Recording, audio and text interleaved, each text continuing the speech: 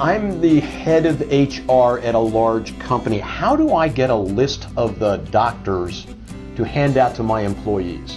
How do I even know first on before we start that I'm going to have doctors there so I don't hear that loudest employee coming into my office saying, You don't have my doctor in the area? How do I find out I have enough doctors before I sign up? And then how can I hand them a list?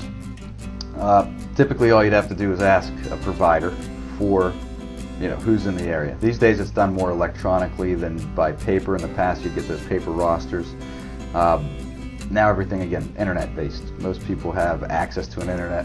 Yes. Whether it's their computer or their phone, if they're at work, they certainly have access to the internet. Again, a carrier should be able to provide some type of list relatively easily, or simply direct you online, is what's happening more and more these days. So now I've signed up through my company. I can go quickly check to see that my doctor is a part of uh, the network. Right. Every carrier I know of would have a provider search area online on their website. Okay, You can typically punch in a zip code, set a radius, and it'll spit out the results. Ah, that's even easier. Because maybe there's a doctor in an area I don't know about, and maybe I, yeah, okay, great. Or if you have kids going to college in another state even. Wow, that's the thing I hadn't thought of before, too, because we want to make sure that they can be serviced.